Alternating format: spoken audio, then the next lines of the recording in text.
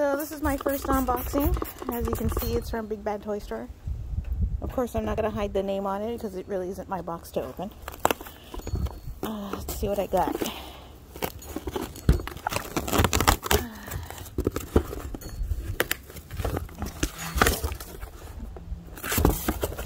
Oh, look at this. I got a whole bunch of bubble wrap. Oh, wow, look at that.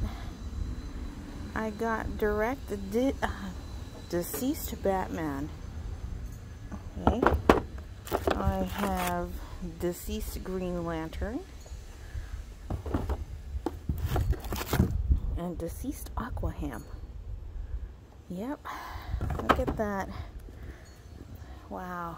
Can you imagine all of that? How am I going to disinfect all of these? That's my question.